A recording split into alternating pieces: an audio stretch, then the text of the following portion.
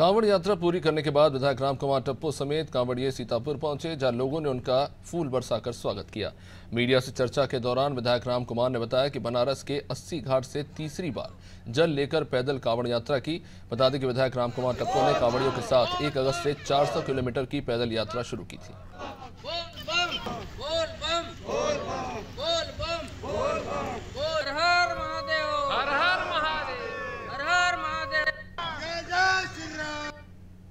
ये तीसरा बार है जो विधानसभा के श्रद्धालुओं द्वारा किया जा रहा है। इस बार सौ कांवरियों के साथ शामिल हुआ। देखिए, ये अकेला पूरे विश्व में भारत देश है, जहाँ हम अपनी धरती को माँ मानते हैं और सौभाग्य से हमारी छत्तीसगढ़ भी महतारी के रूप में जानी जाती है। हमने अपने महतारी का शरण वंदन किया है। देखिए, लंबी यात्रा है और मौसम जिस हिसाब से परिवर्तन है, थोड़ा बहुत हो जाता है, लेकिन अभी हम स्वस्थ हैं और यात्रा पूर्ण होने पर ये यात्रा धार्मिक से ज़्यादा एक तरह से पूरे क्षेत्र के हित के लिए है।